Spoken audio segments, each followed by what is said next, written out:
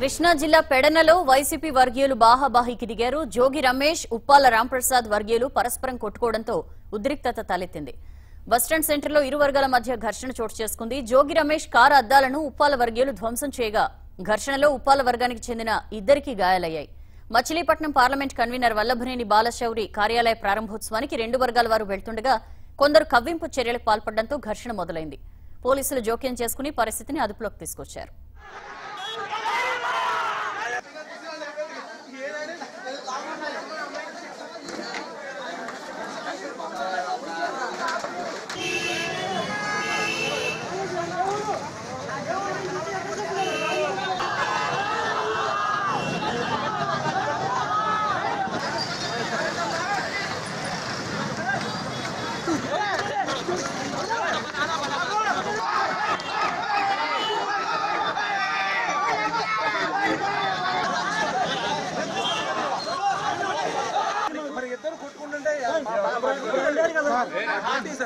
ఇక్కడ ఉన్నాం సార్ ఈ